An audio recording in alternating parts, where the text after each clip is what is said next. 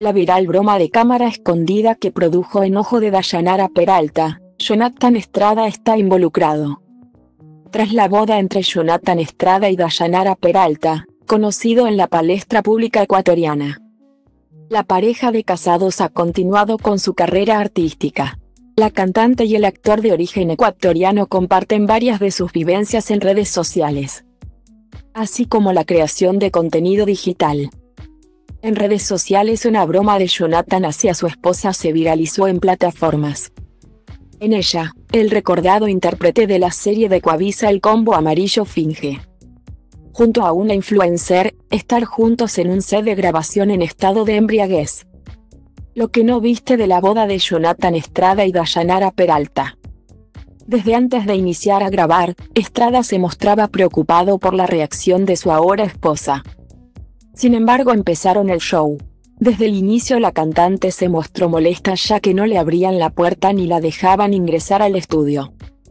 Quien hacía de camarógrafo también era cómplice de la broma, mismo que era pareja de la joven que fingía estar con Estrada. La situación empezó, y ambos arrancaron con la actuación. Dayanara ingresó con evidente molestia al estudio Oye Jonathan. ¿Qué te pasa? ¿Qué haces aquí todavía? Nadie está en el estudio, le reclamó. Dayanara confesó sobre todo lo ocurrido en los Latin Grammy. ¿Qué pasó con Américo? Estábamos esperando el taxi, espérate un ratito, le respondió, y a partir de ese momento la molestia de Peralta subió de tono, con todo el respeto que te pareces mi amor.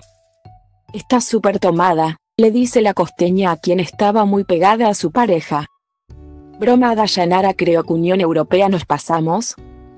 El boca a boca entre los involucrados no culminó allí, incluso hay una segunda parte igual de viral. En ambos videos Dayanara se muestra preocupada e indignada sobre el comportamiento de Jonathan y la joven. También en una relación, que lo acompaña. Cantante ecuatoriana Dayanara sorprende en alfombra roja de los Latin Grammy del 2022 me parece una falta de respeto tu actitud. Por más tomada que esté uno, uno tiene que saber respetar, ojalá en algún momento no te toque aguantar algo así porque no te va a gustar. Le dice la cantante a la influencer, mientras que a Jonathan le deja claro contigo es el problema. No con ella. La disputa sigue en pie, son varios minutos de video que, con el paso del tiempo, ganan más comentarios.